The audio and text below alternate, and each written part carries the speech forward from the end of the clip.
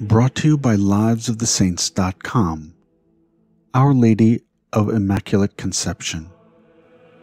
According to the doctrine of the Immaculate Conception, Mary was endowed at the moment of her conception with the grace and privilege of God, on account of the merits of Jesus, and was consequently free of all blemishes of original sin. The Immaculate Conception was first defined by Pope Pius IX in an encyclical on December 8, 1854.